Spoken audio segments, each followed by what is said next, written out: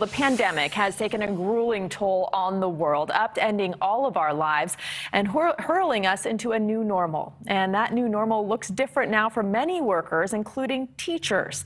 Remote learning has changed the traditional classroom environment. Teachers now thinking more outside the box than ever to make sure students understand the curriculum from a computer screen without distractions. Many teachers say it's been tough mentally, exhausting, but at the end of the day, rewarding. And joining us now is Maureen Stover. She is a teacher from North Carolina. She teaches secondary education biology, earth and environmental science to high school sophomores and juniors. No easy task.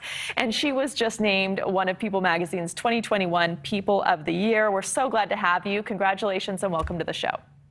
Thank you so much for having me on this evening. I'm really happy to be here. So uh, we were so glad to see you recognized for all the hard work you've done with your students. You have had to really think on your on your feet and just in this constantly changing landscape over the past couple years while also juggling your own life during the pandemic. How has that been for you? So, you know, I mean, it, it definitely has been challenging. Um, and there's been a lot of things that I never expected I would be doing, like doing a interview via Zoom, teaching via Zoom, um, trying to figure out how to connect with students and when they're not actually in our classrooms. But teachers, like we always have done, have demonstrated that we are very good at adapting to changes. Um, teachers have always been in a very dynamic career field, and we are always looking for new ways to connect with our students and to find different ways to engage our students in the learning process.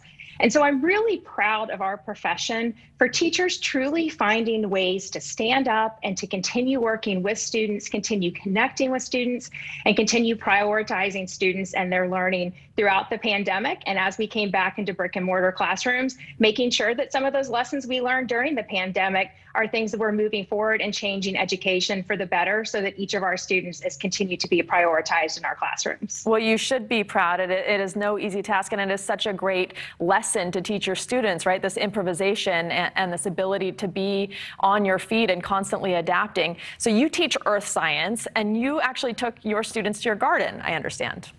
I did. Um, so, you know, I really, in the beginning months of the pandemic, I really wanted my students to still feel like they were connecting like we had connected when we were in the classroom. And that was really challenging when we were doing everything via Zoom. Um, and so I started looking for different ways to really help my students connect with me and to be excited about coming into our classroom each day, even though we weren't in a physical classroom, still being able to join me online and we were learning about photosynthesis. So I thought, you know what? I'm going to take them out into the garden in my backyard and we're going to garden together and we're going to learn about plants and root systems and how the, the different plants grow and what a root vegetable is and what that means. And so it was really a lot of fun to connect with them in that way. And I think it was also a priceless opportunity for them to see a little glimpse of me outside of school. So, you know, many times our students don't get to see us in our homes. And so to have the opportunity to be able to connect with them and to bring them into part of my life and to share that with them and still tie that to the academic standards was really a unique opportunity that I truly enjoyed. I'm sure they loved that too. What about helping your students with issues outside of school? Because that is a huge role that teachers play too that people don't always realize. I mean, people have lost loved ones ones. They've gone through lockdowns. They've been isolated. They're taking care of younger siblings. They've fallen behind, some of them. How do you keep them encouraged and motivated? So, you know, teachers have always done so much more for our students than just teaching them academics. Um, we have always played a key role in helping our students develop socially, emotionally, and academically. And so, um, you know, I think really with the pandemic, it's truly highlighted to teachers the importance of finding ways to intentionally connect with our students to help support them in those social and emotional aspects of their life.